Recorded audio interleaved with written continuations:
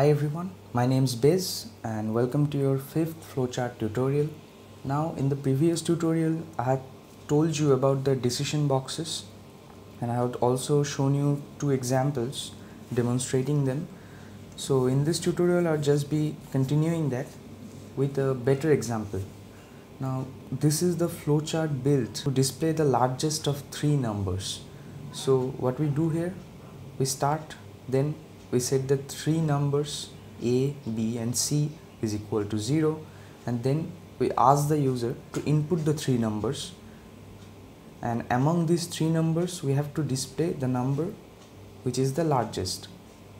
So after the user inputs we enter into this decision box and we check whether a is greater than b. So suppose it satisfies. Suppose a is greater than b then I go and check yes. So that means the condition satisfies I go to the yes hand. And then I check is A greater than C?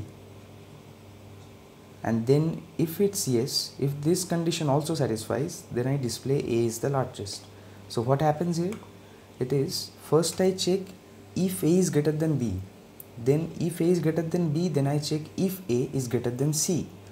And if this also satisfies, this means that A is greater than both B and C. So then I display A. And suppose in this decision box, this condition fails. So A is greater than B, I know that. But A is not greater than C. C is instead greater than A. So what would happen then? Then I would display C is the largest. Now why is that? Well, A is greater than B, but when I go to this no hand, it means C is greater than A. So what? C is greater than A and B.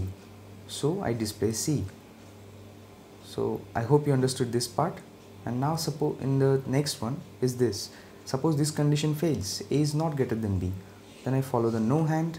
I enter this decision box. And there I check if B is greater than C. So at first look if A is not greater than B then B is greater than A. So now if b is greater than c then that means b is greater than both c and a. And then if it satisfies I display b is the largest.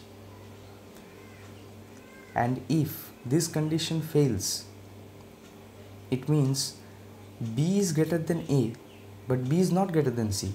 Instead c is greater than b. So that means c is greater than both b and a. So I display c is the largest and then I connect all of them and I go here and I stop.